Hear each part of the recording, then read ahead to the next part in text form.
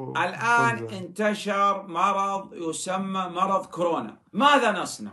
لابد أن نعتقد أن المرض ينتقل بإذن الله لا ينتقل هو بذاته لأن الله سبحانه وتعالى هو إذا مرض الإنسان الله سبحانه وتعالى وإذا مرضت فهو يشفي. لا يمكن أن نعتقد يعتقد الإنسان أن المرض هو الذي يأتي لابد يأتي. لا إذا جاء بقضاء الله قد يمرض قد لا يمرض. ماذا نصنع؟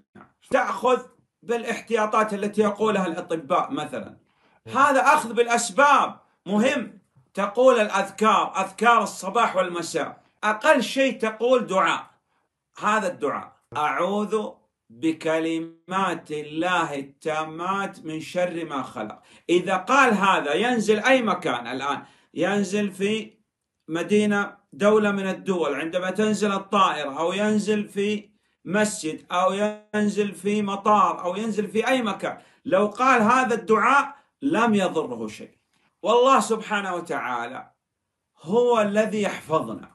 كم من أناس وضعوا هذه الكمامات ومرضوا. لابد أن يكون يقينك بالله قوي. ولا عليك من هذا الكلام والأحداث. كم نضيع من أوقات في هذه الأخبار. طيب الآن بعض الناس يقول يأتي الموت الآن قريبا. طيب كيف تلقى الله وأنت على الذنوب؟ إذا تب إلى الله.